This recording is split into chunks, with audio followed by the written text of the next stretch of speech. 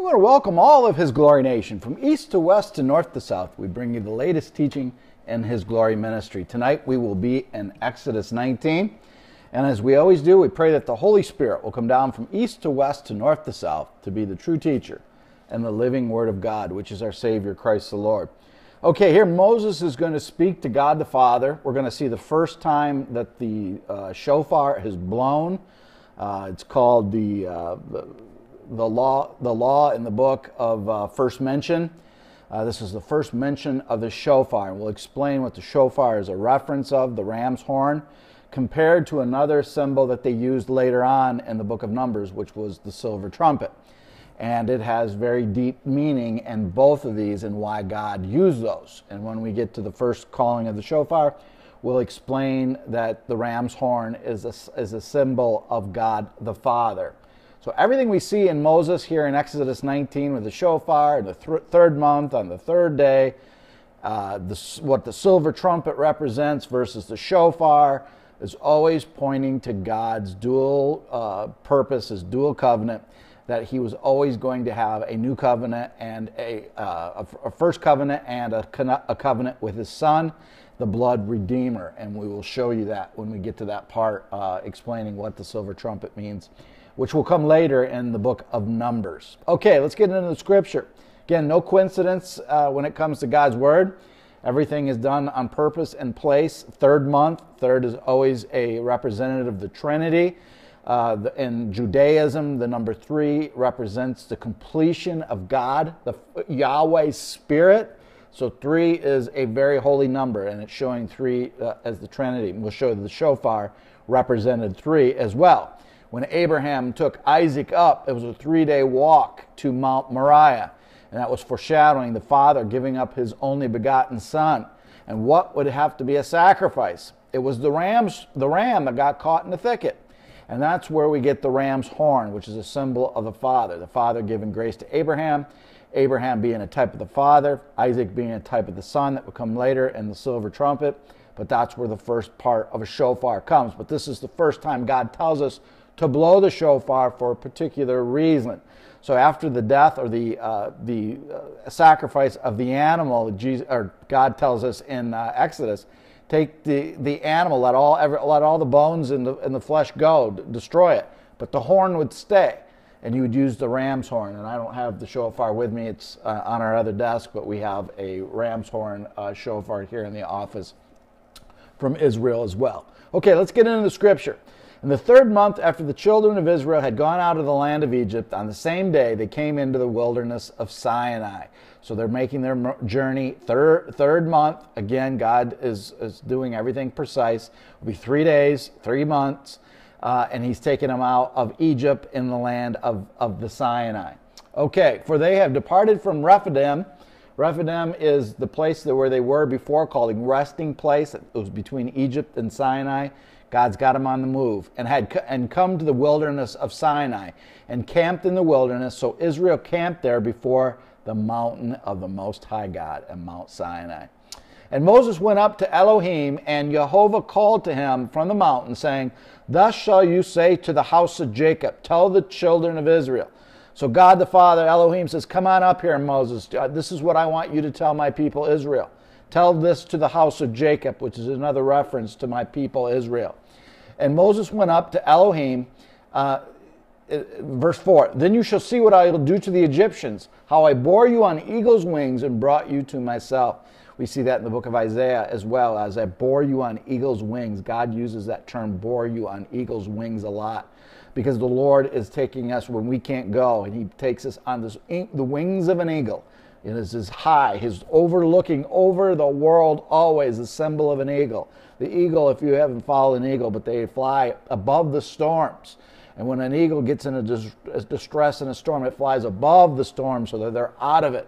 And they can see the prey from, from, from miles away and grab their prey and the eyes of the eagle are just extremely good. And that's God given us a, a, a symbolism of how His eyes are always on us, and we, He takes us from the wings of an eagle. It's also quite uh, ironic too if you study how a, a eagle will uh, kill a poisonous snake. they'll grab the snake uh, right by the neck because they're so fast, and they'll grab it in their in their their, their, their, their claws, and they'll take the snake above the oxygen uh, level of of of, uh, of the earth, so that the snake cannot breathe and it suffocates the the snake. And that is another way that the Lord is showing us that Jesus Christ has taken the sins away of the world from the evil one, the snake. You have seen I did to the Egyptians and how I bore you on eagle's wings and brought you to myself. Now, therefore, if you will indeed obey my voice, again, here the Lord is saying, Not only am I the God of Abraham, Isaac, and Jacob, not only am I your God, I am the one who brought you out of Egypt and your love for me, and I'm a holy God, but I am asking you to obey me. To obey me is to love me. Keep my co- covenant, is he saying. Keep my covenant, even though the covenant of the law was, was, was too much, too much for any man to bear. That's why we had to have the, uh, the Son of God, Jesus Christ, to come in. However, the Lord always wanted the condition of one's heart. We can fall in sin nature, but if our heart is contrite, that loves the Lord with all our heart, our soul, and our mind, and we're trying to keep the law, and we're seeking His face in repentance of the sins that we fall short of.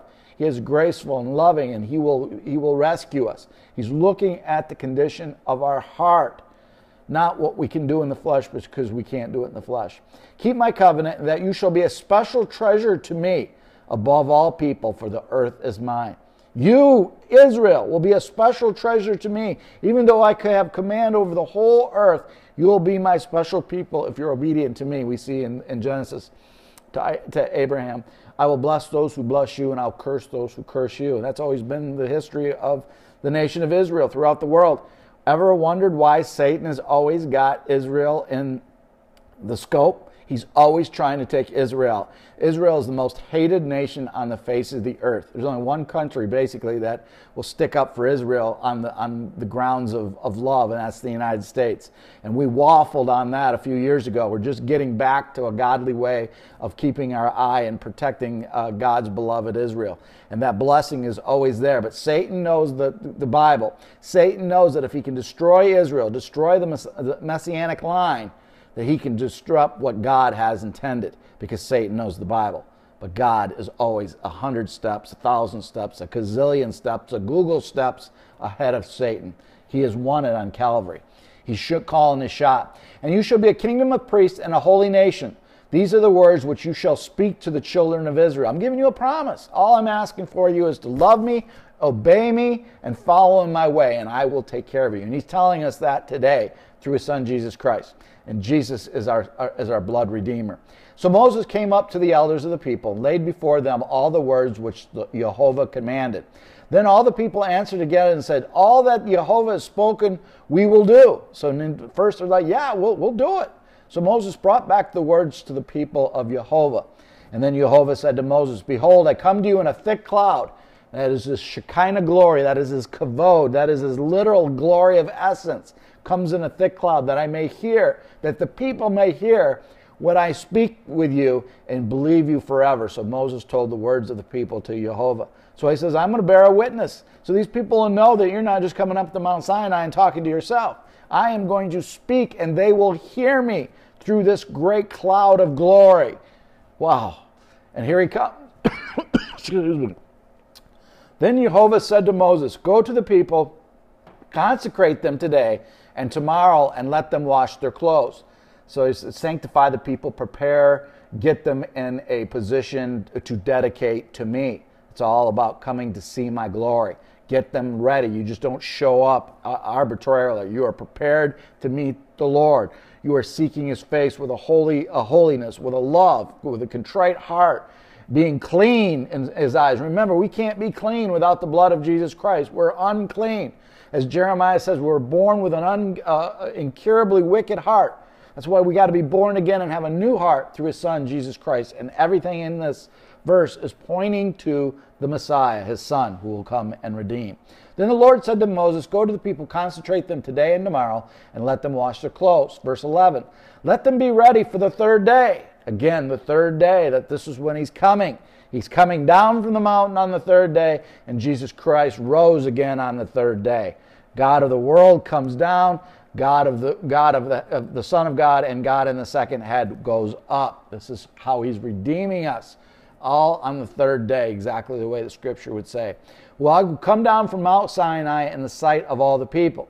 You shall set bounds around the people. I'm saying, take heed to yourself that you do not go to the mountain or touch its base. Whatever touches the mountain shall surely be put to death. This is a holy mountain. This is my holy mountain. Be obedient to what I tell you. Anyone that touches this will surely die. Testing the heart. Do you trust me? Do you, are you going to be obedient to me? To love him is to trust him. To love him is to be obedient to him. Not, not, uh, not a hand shall touch, touch him, but he shall uh, uh, surely be stoned or shot with an arrow. Whether man or beast, he shall not live. When the shofar sounds long, they shall come near the mountain. So this is talking about the shofar. Again, uh, this is God's sembling of the long blast to get the people to come ready. Another blast was them to move out. The shofar was the ram's horn. This is the first time the shofar is actually being mentioned in the Bible. But again, the shofar, uh, according to ancient Judaism, is a reference to God the Father because of what we mentioned earlier the ram's horn, how Abraham took the ram in the thicket and used that as the sacrifice instead of his son, representing the, the, the, the Lord Most High. And then we see in Numbers that it, God in Numbers 10.3 tells him to take two or three silver trumpets, take a ram's horn, take one piece silver and overlay the, the ram's horn to create a silver trumpet. And the reason for that, according to ancient Judaism, is to show the two elements of creation and to show the physical and the spiritualness of the Lord. The two parts, but one single, one single purpose. There's two parts to his process, but one single purpose. We have an old covenant and a new covenant, but one purpose through Jesus Christ. And again, if the ram's horn represents the Father, then what does the silver represent? Silver is always an idiom throughout the scripture as the redemption of blood. Remember, it was 30 pieces of silver. That was the blood redemption. And who is the blood redeemer on top of the ram's horn? One piece connected to each other. That is none other than Jesus Christ, the Son of God and God, meaning that there had to be a blood redemption of the ram's horn of the Father to have completion come in. And that's the meaning of the silver trumpet compared to the, the, the shofar. And again, Jesus, uh, on the third year of his ministry, went up and fulfilled that as well to take it to the cross for our covenant, so that that one single plan that the Lord had, even in Exodus, it was always going to be Jesus Christ, the redemption. He was the Redeemer at, from the beginning of the world, as John 1 1 tells us. In the beginning was the Word. So the Word of God was before the world began, before Genesis 1 1 and the Word was with God. So the Word was next to God. And the Word was God. So the Word was God. And the Word became flesh, as the Scripture says, so that it is part of the three of the Trinity the Father, the Son, and the Holy Spirit being the literal Word of God. That's why the, the Word was spoken by God the Father. Jesus Christ became the eternal living Word and the Holy Spirit is our teacher of the living word. All three working in unison for his purpose and his glory. Praise his name. So uh, Moses went down from the mountain to the people and sanctified the people and would wash their clothes. He said to the people, Be ready for the third day. Do not come near your wives. Be clean and be ready to go to the Lord and give him glory. Then it came to pass on the third day, again, the third day, that there was thundering and lightning, the Lord's mighty glory coming to the mountain, thundering and lightning and breaking. Remember when Jesus broke the, the, the, the uh, veil that said, No more high priest to go into the Holy of Holies to sacrifice any more of the blood. I am the blood redeemer. I am the Christ. He took it to, to the Lord. He took it to the Father and he broke it with the earthquake that came because the mightiness of God, the Father, who was redeeming his Son on the third day, rose again and sits at the right hand of God Almighty, being the Son of God, our high priest, and God in the second head. All this is pointing to his, his, his glory in the first and the second covenant. Praise his name. And Moses brought the people out of the camp to meet with Elohim, and they stood at the foot of the mountain. So before that, they said, that, then the sound of the shofar was very loud, so all the people were in the camp trembled. The sound of the shofar, representing God the Father, long sound of the shofar. And if you haven't heard of shofar, it is absolutely beautiful. Yesterday was a really weird day for me. Um, I was really run down all day long. And I just kept you know, meditating on the Lord because I, I, I couldn't get into my regular routine. I was just whipped. And uh, I kept hearing shofar and shofar, shofar all over. And I kept looking for where a shofar was coming, where, coming from, and nowhere. It just kept on going all day long. So once you hear the sound of a shofar, it never goes away. And we are going to listen to that shofar when the Lord calls his mighty church, the church of Philadelphia, home to be with him. And Moses brought the people of the camp to meet Elohim, and they stood at the foot of the mountain. Now, Mount Sinai was completely in smoke with the glory of God because Jehovah descended on it in fire. Fire by, uh, fire by night, smoke by day is the glory of the Lord. As the smoke ascended like the smoke of a furnace, and the whole mountain quaked, uh, quaked greatly, the shaking of the mighty uh, power of the Lord. And when the blast of the shofar sounded long and became louder and louder, Moses spoke and God answered him by voice. Wow. So that is the second, and uh, I can't remember the name of it. It's called the Tekiah uh, uh, something or another. I have to research that, but that's the, the, the, last trump. That's the longest, loudest trump as moving out, coming up for the glory of the Lord, and that's exactly what's happening when blowing of the shofar. Moses spoke, and then the Elohim spoke, and the people heard him. People heard God of the universe speaking and shaking of this mountain and fire and smoke and the shaking of lightning and thunder. Can you imagine this? Just the glory of the Lord everywhere. It's just absolutely the anointing falling on these people. Then Elohim, uh, Jehovah came down Mount Sinai and the top of the mountain, and Jehovah called Moses to the top of the mountain, and Moses went up. And Jehovah said to Moses, Go down and warn the people lest they break through the gates at Jehovah, at many of them perish. He says, Go warn the people. There's a gaze out there, you know, and they, they stumble through that and they hit the mountain, they're going to be dead. Again, God is worried about his people. He loves us so much that he wants us not to make an intentional sin. And let the priests who come near the Lord consecrate themselves. Let Jehovah break out against them. But Moses said to Jehovah, The people can't come up to Mount Sinai. You told them not to come up. For you warned us, saying, Set bounds around the mountain and consecrate it. Then Jehovah said to them, Away, get down, and then come up, you and Aaron with you. But do not let the priests and the people break through to come up to Jehovah, lest he break up against them. So did God forget? No, God knew. God knew the hearts of the people. God knew the beginning and the end. God knew that his Shekinah glory and his power was so awesome that they're going to come later on and say, no, no, no, no, we don't want to hear the voice of the Lord. We want you to tell us, Moses. It is too, it is too, too much for us to handle. And the Lord knew that. And the Lord is now saying, I will speak through Moses and Aaron. And you had an opportunity to walk with me and talk with me. And that's the way it is with the Lord today. So many people say, Will you pray for me? Will you pray for me? And The Lord speaks to you, the Lord touches you. You see the Lord. Well, He wants to speak and touch and, and talk to you and do miracles in your life too. You got to trust in Him. You got to want that. If you don't want that in your life, then that, that's the greatest gift that you could possibly get having the living God and the, the, the, Father, the Son, and the Holy Spirit walking with you and in you and showing you great and things and unsearchable things that you don't know and talking to you and guiding you. Why don't you want that? The Lord wants us to ask for those special gifts. Paul tells us in Corinthians we are to ask for these gifts. God wants to give them to you. And too many denominations say, no, they're not for today, or they take a neutral lo- level. That's like having a lamp and you don't plug it in. That's like having the Holy Spirit active, but you don't plug it in. Plug it in and let the light of Christ go. He wants you to have these gifts and ask the Lord, these, the, the poor people of Israel, because of a hardened heart, had the opportunity to walk with the Lord Most High. He wanted to speak with him. He wanted to talk with him. He wanted to be close with him. And they said, No, no, no, your power is too great. Let's let Moses and Aaron do it.